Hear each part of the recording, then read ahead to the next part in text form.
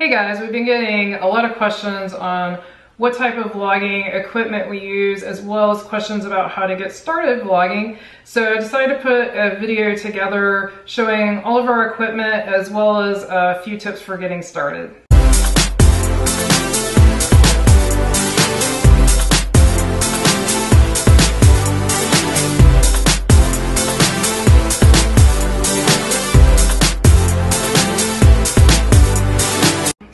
Thing that I want to mention is um, if you're going to get started, do it because you're passionate about doing it and you want to either share your love of something um, or you want to capture memories of your trips or whatever you're doing with your family, that kind of thing.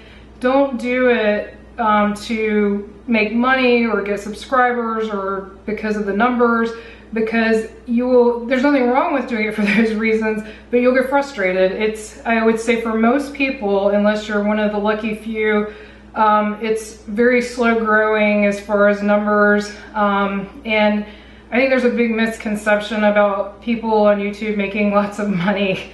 Um, don't get me wrong, there's people with millions of subscribers that do make good money, but for, I think, the average vlogger uh, with modest numbers, um, you don't even make enough money to cover expenses for your equipment, much less trips and stuff.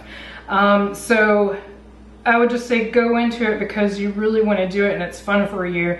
Um, for us, we love sharing our love of theme parks, um, our travel, you know, not just theme parks, but other travel. And then this year we've actually started sharing our weekly lives as well.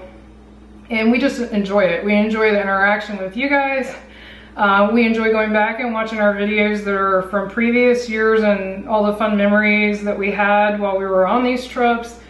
Um, and that's what keeps us going. And then I personally really enjoy the whole process of editing the video and the creativity involved.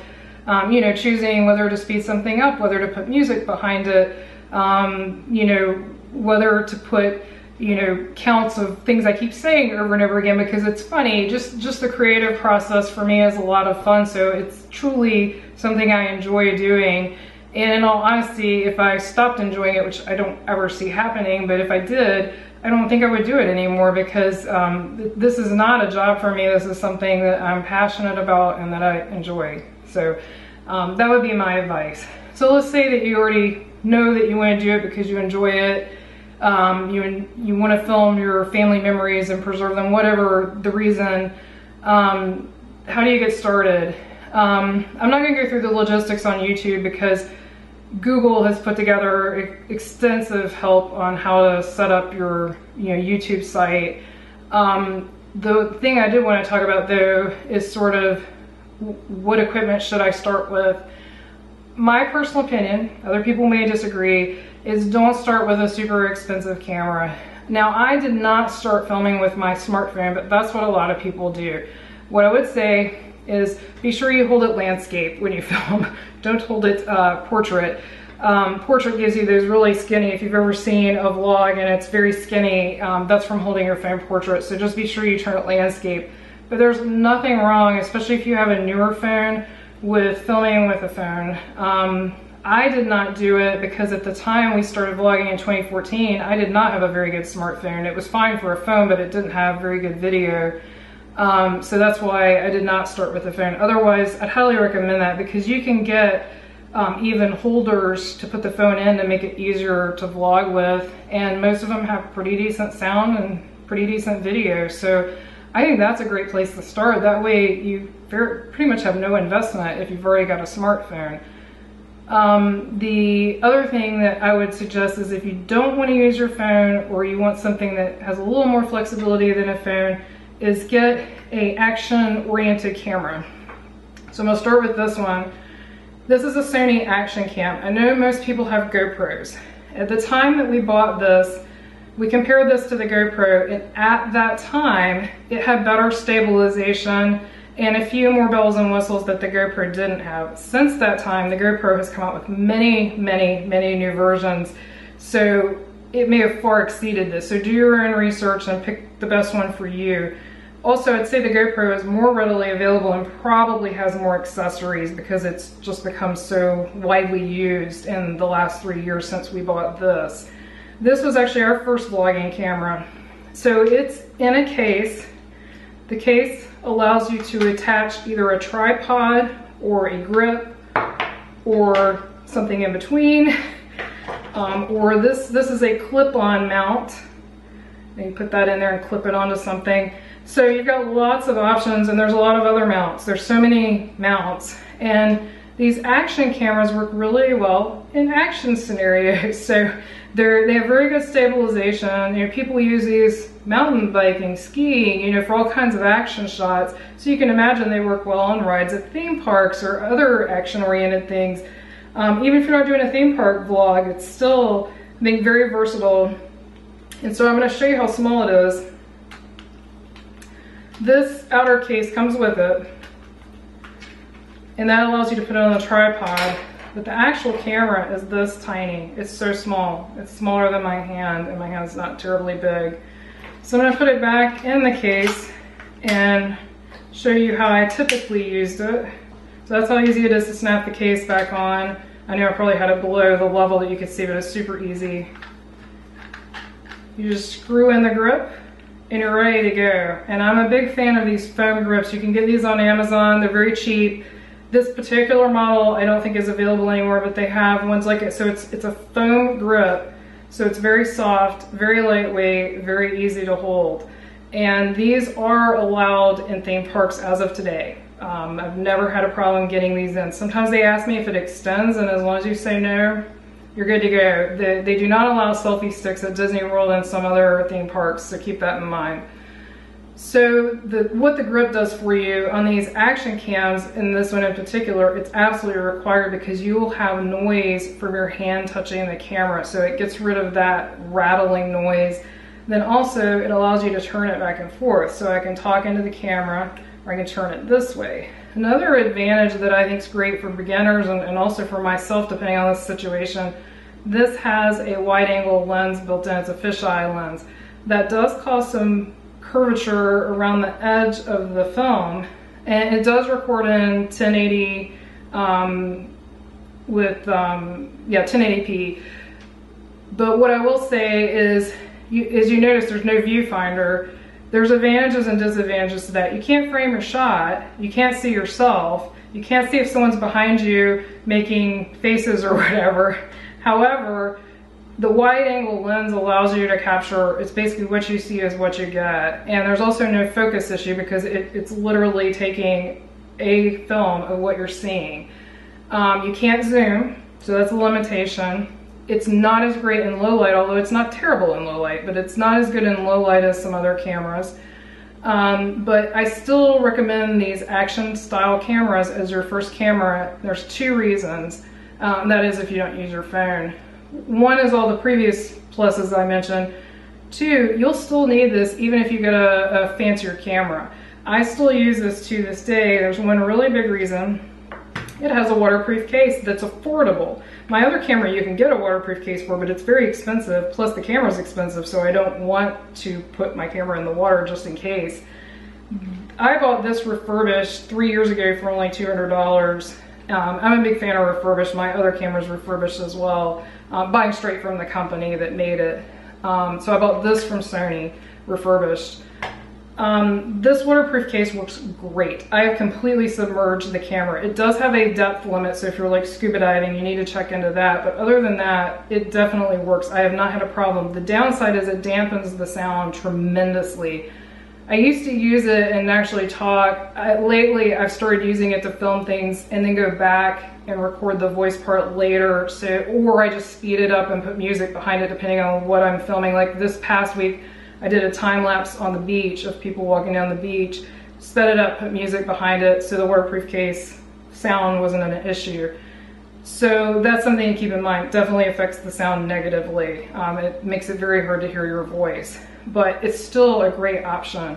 Say you're at a theme park, it's pouring rain, or and for that matter in New York City, it is pouring rain wherever you are, or if you're at a pool, at the beach, lots of places, water slides. There are some restrictions at places on whether you can take them down slides or not, but um, this is great for that.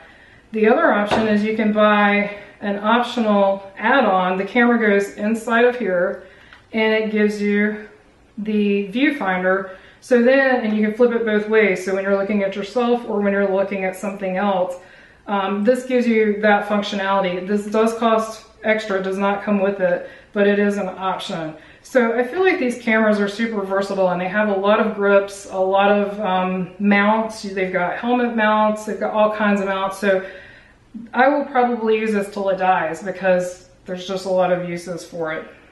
The next camera I'm going to mention is 100% optional. This is not required for vlogging. A lot of people will not need it ever, but they can come in handy when you don't want to have a camera in your hand, but you want to capture something. Um, this, these are Pivothead. This is a this particular model is Durango, um, and they do record in high definition. And the buttons, I don't know if you can see it, but they're right here and right here. And so they're really easy to press. There's a USB connector here, and that's also how you charge it. It doesn't have a separate charger. You just hook it to your computer to charge.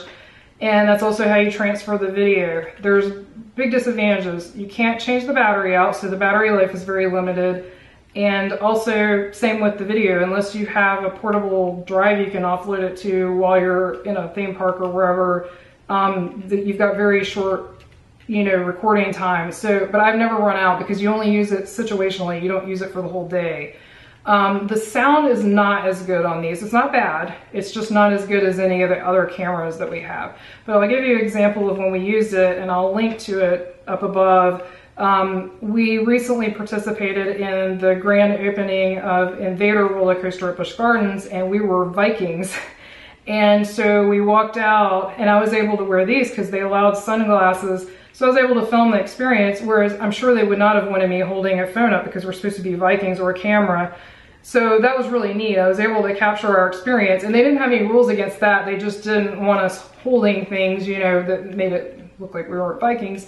Uh, of course, I don't think they had sunglasses either, but anyway, um, that was really cool to have that experience captured and that's the only way I would have been able to capture it. So not required, but a nice little option and they're not very expensive. I wanna say they're under $200.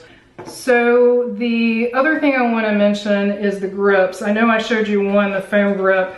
Still highly recommend it. This is my go-to grip. I use it on both cameras. Um, the camera I'm talking to now I'm going to cover last, which is the Canon G7X. Um, these Gorilla style grips are great as well. I use this again at the beach for the time lapse. You can bend these so I clamped it around my chair arm at the beach to keep it from falling into the sand and then put the camera, it just has the same tripod screw in there where you just twist it in. But these are very versatile because you can also hold it in your hand. You can grip it something to your card, have it face you. You can use it as a tripod, but that's tricky to get it straight for obvious reasons since it's so bendable. The downside I've had with this is even though it's hard to move this, when I have the, the Sony Action Cam, it works great. When I have the Canon G7X, since it's a little heavier, since a lot of these things move, sometimes it'll kind of wobble and not stay as steady. So for the G7X, I almost exclusively use this unless it's stationary. For both of them, this is a wonderful tripod and you're gonna laugh. I got this at the dollar store for a dollar. Um, actually, I think Brian found it. Um, so it expands barely.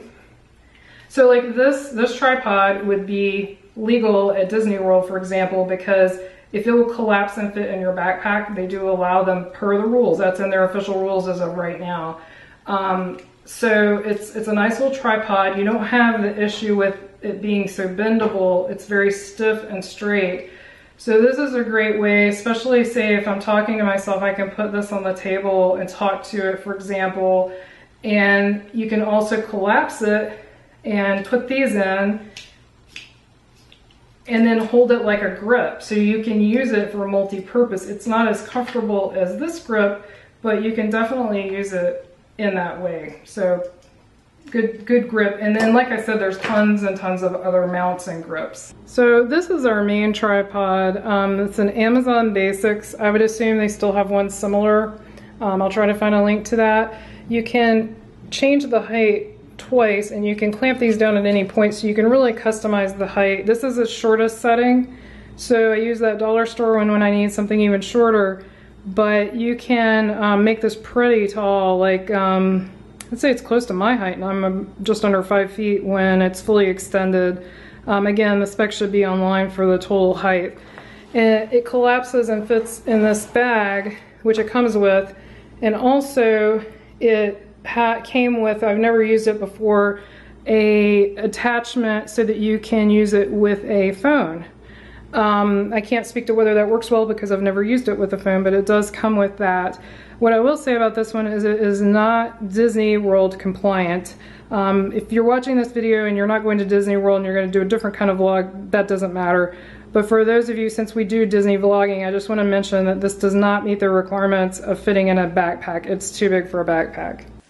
Last but not least, by any means, is my more recent acquisition. I actually got this at the end of last summer um, they had come out with the Canon G7X Mark II, and so they had a deep discount on the Canon G7X refurbished on the Canon site. I was able to get this for around a little over $400. They now go for, I'd say between seven and 800, maybe more because I haven't priced them out recently.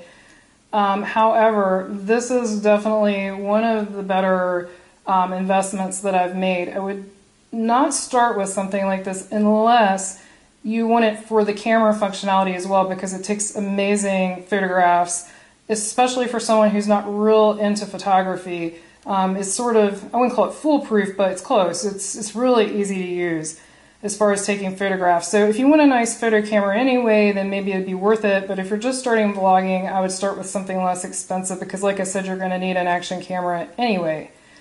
So I want to talk about a couple of modifications, if you want to call it that, that I've made.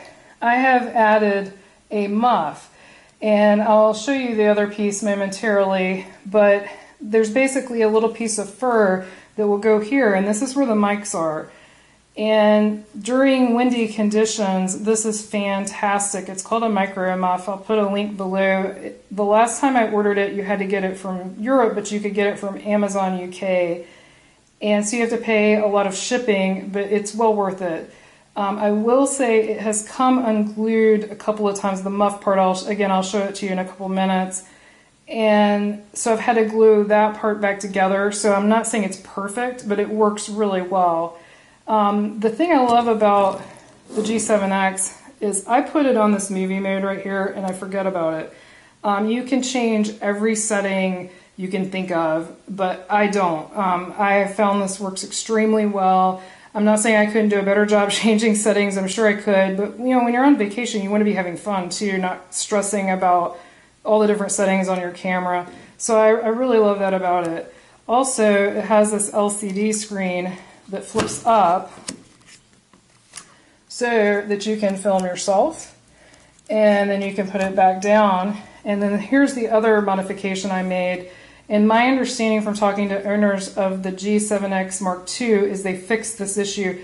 This makes a really loud snapping sound that you can actually hear on the video, on the film, when you put it down. And so I added, these are just those furniture felt self-adhesive pieces. I cut them down small and put them on here and it stops that snap sound um, almost completely. So that is a suggestion if you're able to find a refurbished G7X, not the Mark II. If you get the Mark II, I don't know that you'll need that. And then as I mentioned, it has the same tripod, um, you know, input there. You can use this for tripods, but you can also use it for all the handheld grips that I just mentioned, which again, when you're filming both yourself and flipping it back and forth, really helps because also if you touch the screen, you can change a setting. It has this small place here to grip it, or you can hold it under here and you won't change anything. But if you accidentally tap the screen, or if you tap one of these buttons, you can change something. So that's another reason I really recommend using a grip. So back to the muff, I had to go get it, I'd forgotten to get it out. So here's what it looks like. and it just goes right there. And it covers the mic, but still lets the sound through. It just keeps wind and that kind of noise out and really works incredibly well. When I said I had to reglue it, it was right there at that seam. The fur had come unglued from the Velcro and so I just used some crafting glue and glued it back together and it's held ever since. Um, since it is from Europe, uh, I'm sure it's humid in places in Europe, but I'm wondering if the Florida humidity is just a whole nother level and that's why it, you know, sort of disintegrated the glue because I read all the reviews and I didn't see other people complain about that. It could be also that I just had a defective one, but it was pretty easy to fix. And despite the issue, I would still recommend it. It just works so well and it fits perfect because you don't want it covering these holes, so it's, it's perfect. Another big advantage of the Canon G7X um, over the Action Cam, um, it has, in my opinion, equally good stabilization, but it also has good low light capabilities. And if you're willing to change some of the settings, you can get even better low light filming. Like I said, I do not change mine. So everything you've seen of my vlogs, I have not changed any of the nighttime settings, but you certainly can, or for dark rides, that kind of thing. And one of the other huge advantages over the action cameras is the ability to zoom. Um, it's great for stage shows, it's great for parades, um, it's great for a lot of things. There's just a lot of times when you want the ability to zoom. Say you can't get a great spot for any of those things I just mentioned, Zoom basically fixes that for your film. Now, obviously, you can zoom too far and the stabilization degrades greatly the more you zoom. So there's pros and cons, but the flexibility to be able to zoom is huge. And then the overall video and sound quality, I think, is superior on the Canon GX7, I mean, just G7X. Um, I will say there are far more advanced cameras, far bigger cameras. Um, you'll see vloggers with all different kinds of cameras and there isn't a right or wrong answer. It's what your personal preferences, what your budget allows for. Um, pick what's right for you. Go to stores, try a bunch of different cameras. Um, bring a memory card with you, by, by the way. A lot of stores do not have memory cards and the cameras actually don't work unless they have a memory card in them. So bring a micro SD card and a regular SD card with you when you go to uh, look at cameras. But I researched this Canon G7X extensively before I bought it because for me a several hundred dollar camera is a big investment. So do the same thing. Don't just take my word that this is the best camera. I will say a lot of vloggers do use it. I think it's a popular model. I think the flipping LCD screen is huge um, so that you can see in both directions. But um, like I said, you can get this, the one limitation of it is does not have an external mic port. The sound is pretty good, but having an external mic port would be a huge plus that it does not have. So I've seen people with much bigger cameras that also have a giant sort of boom mic attached to it. You can't do that with the G7X. Um, so that's something to keep in mind, especially if you're going to be doing something like interviews where you really want great sound quality. For audio, I have a brand new toy. I've angled the camera down so that you can see it without me touching it. Um, this is the um, Zoom H1 handheld portable recorder. Um, I'm going to say a couple things about this. First of all, it's brand new, so I don't have a ton of experience with it. I bought it for two reasons. One, when Brian and I are sitting here recording in our dining room, it's going to dampen the amount of um, echo and other incidental noises. Um, the second reason is when we're in a noisy place like a restaurant, it has a lot of uh, noise canceling effects. And as I mentioned, the um, Canon G7X does not have an audio in, so you can't add a mic um, to it. So um, this basically has two mics up here and it has a ton of settings that I'm not going to cover because there's a lot of YouTube videos that go into great detail for that. Um, but I am going to show you a test now. So I've been recording so far without this audio on. Starting right now, I'm recording with this audio um, from the Zoom H1 just so you could hear the difference. Um, the further the G7X gets from us, of course, the worse the sound is. So this gives us a way, because normally when we do our videos, you only see us from about here up because I have the camera angled up more to get Brian's head since he's taller. So this won't even show in the video, but will give us much better sound.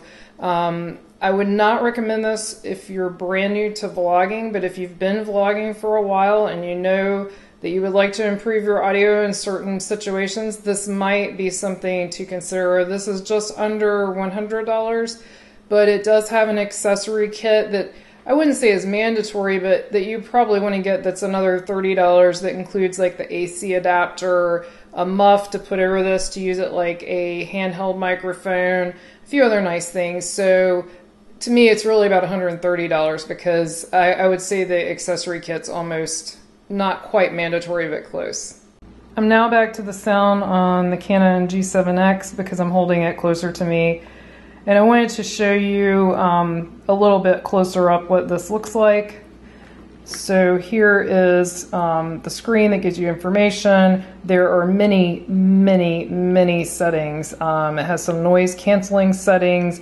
You can set the input level. You can set whether you're recording a WAV file or MP3. You can set the level that you're recording at um, and the ratio. So there's there's so many settings, and there are lots of YouTube videos on which ones to use and why. And then the two mics you can see here at the top. What I love about this is if say we're sitting in a restaurant across from each other, I can set it up like this and one mic will be towards me and one will be towards Brian. Or if we're sitting here and we're both next to each other, say I'm here and he's there, the mics are aimed in that direction also. So I really think it's going to be good for our purposes. So I think that's about it equipment wise. I honestly will say I think equipment is the least important part of vlogging. As long as you can hear the people talking, see what's happening within reason, you know, so you don't want something that's so dark you can't tell what's going on. But as long as you can see what's happening, hear the people talking, what you're filming is far more important than what your equipment is. Um, I would rather watch an engaging, you know, charismatic, entertaining person, and I'm not saying I'm any of those things, I'm just saying that that's what I like to watch, that's doing something I'm interested in um, far more than I care about the actual video quality. Like I said, as long as it's not too shaky, too dark, like the things to where it's just not really watchable. So that's why I say I think it's good to start with a smartphone if you have a decent smartphone and get a feel for it there. The other thing I haven't mentioned is video editing software. I recommend starting out with something free. I started out with Windows Movie Maker, which is free um, with Windows. At least it used to be. I assume it still is. And it's very limited, very basic but it lets you get started without investing additional money. And my understanding is there's a program on the Mac, you know, that would be equivalent. I, have never had a Mac, so I can't speak to that. Then I upgraded to Adobe um, Premiere Elements. There's a Premiere Pro as well. Um, Elements does everything that I need. Um, I have not had a lot of problems with it. I did have to reinstall it once because something got corrupted. Um, but other than that, um, it's been pretty easy to use and there's a lot of tutorials both by Adobe as well as by you know people that just use it out there on the web. So um, I'm not saying you should get that when there's tons out there. Again, look for what works best for you and what you think you can pick up. I found it relatively easy to learn. Um, I'm not saying it didn't take any effort, it did. Plus, I learned new things about it all the time, new things I can do. So um, that would be my recommendation. Start with something free and then upgrade once you know this is something that you want to stick with. Another question I get is how to grow your channel. Um, I don't feel like I'm the best person to answer the question. Um, I don't think there's any secret to it or formula to it. That You'll see tons of videos out there. I think it has more to do with your content, um, probably with your age, with the saturation of the topic you're doing. So for example, um, I think younger vloggers tend to get a bigger audience. Um, I think, you know, beautiful vloggers tend to get a better, bigger audience. Um, I think that um, you know, picking a topic that's already pretty saturated like Disney is going to grow slower unless you happen to live in Florida um, and can go all the time. I think that people like us that do trip vlogs, I think that's pretty saturated. Don't get me wrong, I'm not discouraging anyone from doing that. Um, I just think it, it's going to grow slow. I'm just trying to set expectations. And you may be one of those people super charismatic and you grow super fast. So please don't take this, this as discouragement. I just think I, in the beginning, I was a little disappointed with how few people were watching and it took really long time for us to pick up. So don't lose hope, don't give up, uh, stick with it. it. For some people it takes time, for some people they, you know, grow really quickly. Um, but I think, the, like I said in the beginning, the big thing is do it because you love it. Um, vlog something that you're passionate about, that you want to share with other people. Um, and then don't worry too much about the rust and, you know, to build it, they will come. They may come, they may not come, but if you're having fun doing it, does it really matter? Um, the other thing I will say though is I would recommend engaging on social media. Not only does it help you grow your YouTube channel, but it also allows you to interact with all kinds of people. Even if they don't watch your videos, you'll meet so many people and you'll have so much fun. You'll make new friends. So that would be my big tip. So I hope this has been helpful and I hope it answers all of your questions. Like I said, I'll put links in the show notes to any equipment I've mentioned that's still available readily online.